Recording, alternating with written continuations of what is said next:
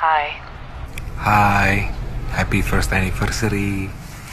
aku masih sebel kamu gak ada di sini. I'm so sorry. Kita jadi dinner virtual kan malam ini? Kamu masak apa? Masak makanan kesukaan kamu. Aku kirim bunga ya ke rumah kamu.